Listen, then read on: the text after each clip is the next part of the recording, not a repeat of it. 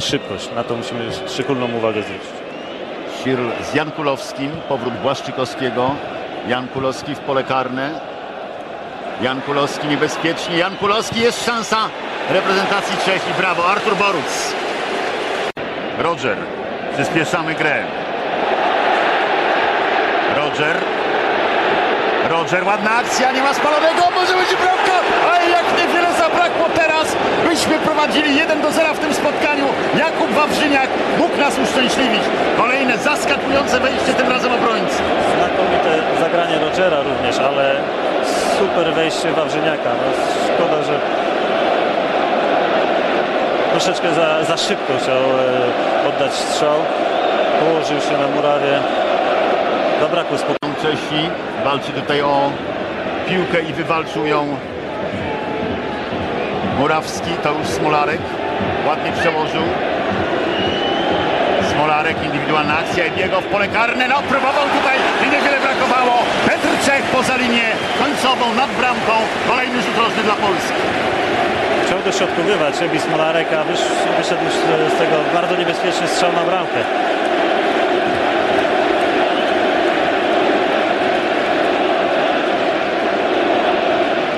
Spore szczęścia. Kolejny rzut rożny reprezentacji Polski. No, od dobrych kilku minut zamknęliśmy Czechów na ich połowie. Bardzo dobra gra naszego zespołu jak do tej pory. Rzadko mieliśmy okazję mówić, że e, gramy lepiej, aniżeli wynik na to wskazuje. Murawski. Roger. Czekał tutaj Smolarek i Rożek na to dośrodkowanie Wasilewskiego, ale przejął Petr Czech. No i teraz może być groźnie. Baros, Baros pole karne, ostry kąt Baros, Artur Boruc. No trzeba uważać. To mówiliśmy, bardzo szybki jest e, Milan Barosz i potrafi urwać naszemu e, obrońcy. Bardzo dobrze skrócił kąt e, uderzenia Artur Boruc. No tutaj doświadczenie, że Włakowa przydało się. Do końca był, pilnował, ale nie faulował. Barosz. Bardzo dobry powrót. Brożek. Błaszczykowski, Brożek. Kuba Błaszczykowski. Ach, ładnie to zrobił Błaszczykowski. Jeszcze atakowany. Jeszcze raz atakowany. Utrzymał się przy piłce. Teraz szansa. Jest! Gol! O, nic 1-0! Paweł Brożek!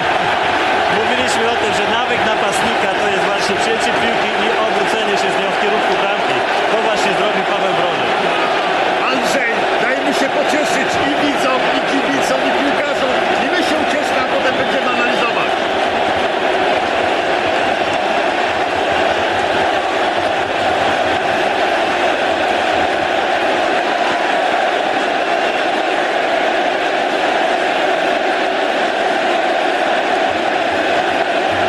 No, co na to Andrzej Juszkowiak?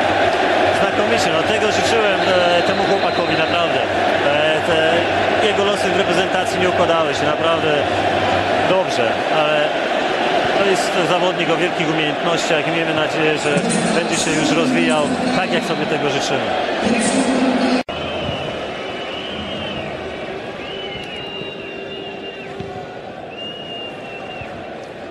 Słowenia, Irlandia Północna do przerwy bez bramek. Tymczasem szansa Błaszczykowskiego. Może będzie dwa. Kuba. Tak! 2-0! Mówiliśmy o tym, że Kuba Błaszczykowski musi poprawić skuteczność, celność strzału, ale tu się zachował jak rasowy napastnik.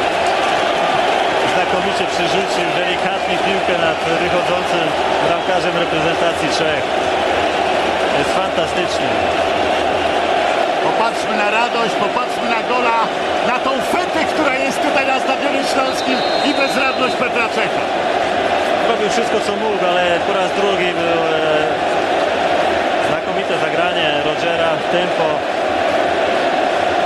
Podniósł głowę, popatrzył i teraz fantastyczny kapitalnie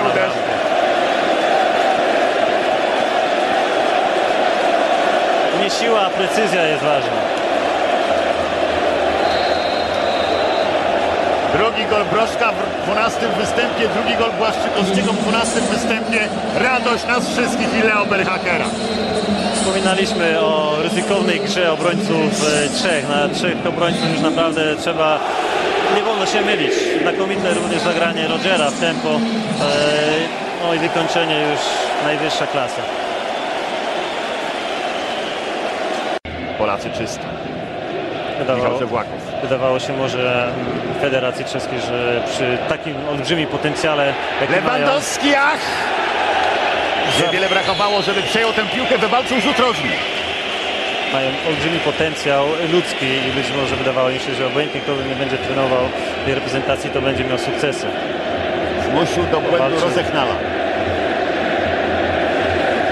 To cechuje w ogóle dzisiaj wszystkich polskich zawodników, że grają do końca, walczą o każdą piłkę i dlatego Polska wygrywa 2-0. Gdy zaczynaliśmy to spotkanie, zastanawialiśmy się, na co stać Polaków. Mówiłem o tym, że jest ten sam dzień, ta sama godzina, ten sam stadion, ten sam sędzia i rywal z najwyższej półki, a teraz kolejna szansa Petr Czech wyprowadzić 3 do 0.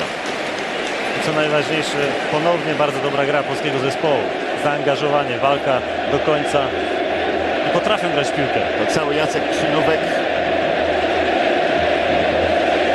Choć jak widzieliśmy, uderzał to Lewandowski do spółki z obracja Polaków. Jest tam w środku Robert Lewandowski, jest Smolarek, ale za głęboko grał teraz Murawski. Już zaczął Petr Czech. Już tutaj pędzi Sionko. Już trzeba wracać. Nie ma spalonego. No i mamy niestety bramkę dla reprezentacji Czech. Milan Barosz na 4 minuty przed końcem. Przepraszam, e, uderzał Fenin. Szkoleniowo rozegrany kontratak, Tak, ale to jest brak powrotu, brak powrotu Krzynówka, prawda? Tak, zdecydowanie dwóch środkowych obrońców poszło w kierunku bramki, natomiast dośrodkowanie było no, Troszkę idealne. przełamał palce, ręce tutaj Artura Boruca, ale tak to jest. Pokazuje Mariusz Lewandowski. No, wspomóżcie nas jeszcze, teraz nam tego potrzeba do publiczności. Wstali wszyscy, zaczynają. Ile Oberhacker też o to prosi, ale swoich zawodników, żeby przeszli dalej, bliżej pola karnego bramki Petra Czecha. Za chwilę będzie końcowy gwizdek. Za chwilę Artur Boruc, który nie mógł się pogodzić, że jednak został pokonany w tym spotkaniu rozpocznie. Chyba ostatnią akcję, tak, pokonujemy. Ósmy zespół w rankingu Czechów 2 do 1. Strzelcami bramek, strzelcami bramek w tym spotkaniu Paweł Brożek, a także dla Polski Jakub Błaszczykowski, Fenin dla reprezentacji Czech. Jak z Portugalią, dokładnie dwa lata temu. I, I proszę Państwa, wtedy i teraz 2 do 1 po kapitalnej grze. Wtedy Polacy po tym meczu przebudzili się, zaczęli grać. Oby tak było w kolejnym meczu ze Słowacją. Oby to właśnie był taki mecz, który e, odmieni naszą reprezentację.